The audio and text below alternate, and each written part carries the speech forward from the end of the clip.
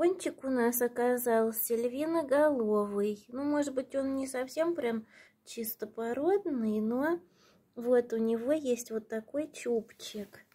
Сейчас сбоку, может, виднее будет. Вот, как у львиноголовых кроликов.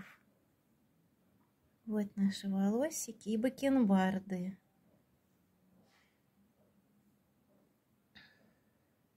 Пончик очень ласковый. Такие кролики очень хорошо поддаются дрессировке. Они не агрессивные. Это порода.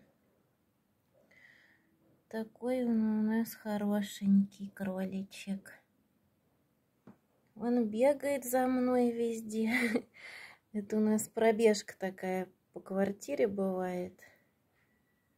Он ну, как будто играет, что ли, знает уже, что это игра такая. Вот такой пончик. Может быть, когда-нибудь мы подружку найдем себе, такую подходящую. Не знаю, может быть, согласится какая-нибудь крольчиха познакомиться с пончиком.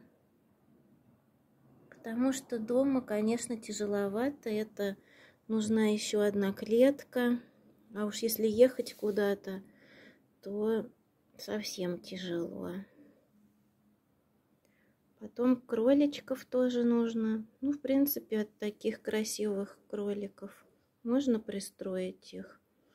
Больше всего проблема это ехать куда-то. С одной клеткой такой огромной тяжеловато, а с двумя тем более. Живет Пончик в Москве, так что если есть невесты, то обращайтесь.